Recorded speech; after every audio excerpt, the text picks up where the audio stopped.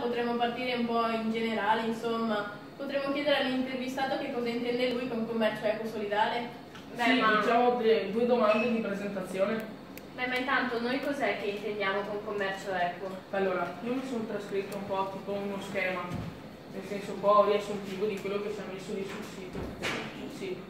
Quindi sarebbe eh, lo scambio di prodotti in cambio di denaro, ma eh, questi prodotti sono particolarmente eh, tutelati rispetto agli altri, nel senso eh, vengono maggiormente curati e sono, ehm, non, non subiscono trattamenti particolari.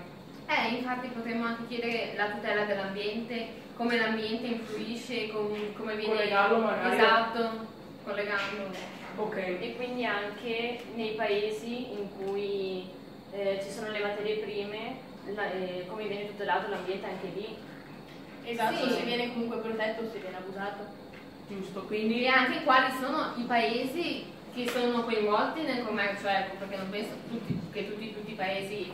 Beh, allora, i paesi eh, principalmente in via di sviluppo poveri, ma soprattutto quelli in via di sviluppo, sì, ma... sono maggiormente eh, coinvolti. Sì, ma sia quelli che sono coinvolti in quanto sono paesi in via di sviluppo e quindi sono quelli che vengono aiutati, sia quelli che aiutano sì, cioè, quelli, esatto. quelli, quei paesi in cui ci sono più cooperative, più stabilità, associazioni. Sì, esatto, più associazioni che si occupano appunto di questo commercio. E comunque dobbiamo ricordarci che anche i paesi europei oppure anche i paesi eh, già ricchi di, eh, di per sé eh, sono coinvolti nel commercio equo, perché è un obiettivo secondo me che deve arrivare in tutto il mondo anche se è difficile. E che durerà anche nel futuro secondo voi? Possiamo chiederglielo? Eh sì, esatto. Perché ci sono vari fattori che dipende, cioè da cui dipende appunto il futuro che avrà il commercio ecco. Ad esempio il prezzo dei prodotti. La competitività. Esatto. Questa è una cosa che gli dovremmo chiedere, soprattutto il prezzo dei prodotti che hanno. okay. Beh. Sì, esatto. Oppure ad esempio, magari se un giorno si arriverà che tutti i paesi avranno circa la stessa ricchezza, può anche essere che questo commercio equo non ci sia più perché alla fine non, non avrà più un vero e proprio utilizzo, perché ad esempio adesso legato a quello che diceva lei dell'associazione delle fondazioni, queste qua comunque aiutano insomma le comunità che sono in difficoltà, ad esempio con alcuni progetti legati alla scolarizzazione o alla sanità o comunque alla protezione okay. dell'ambiente. Quindi potremmo anche chiedere come fanno a conoscere, a far conoscere la loro attività.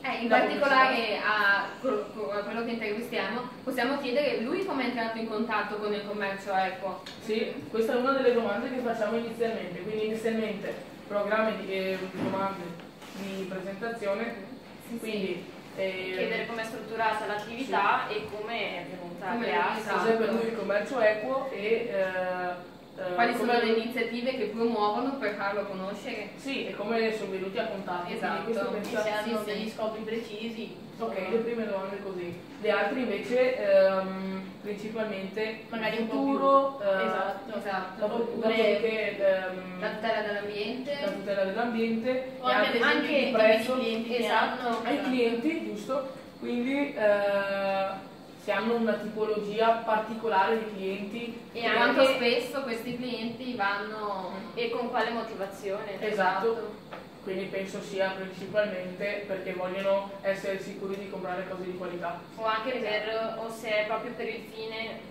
eh, per cui c'è questa attività, cioè anche aiutare i paesi esatto. a farsi conoscere. Ok, e, no, e dopo anche ehm, i prodotti, eh, se ehm, come si può dire? Se ci sono delle tipologie di prodotti esatto. che, sì, che maggiormente esatto. e altri che invece insomma, magari appunto non, sì, magari hanno una tipologia di prodotti che eh, vendute da una parte o vendute da un'altra non hanno una grande eh, differenza di, eh, di, trattamento. Esatto, e comunque magari le trovi migliori anche a minor prezzo nei supermercati normali e quindi, quindi magari possono anche non venderle proprio esatto. Questi, okay. Eh, Beh, io direi che più o meno abbiamo abbastanza domande. Ci manca solo l'intervistato. Io direi di andarlo a chiamare. Sì.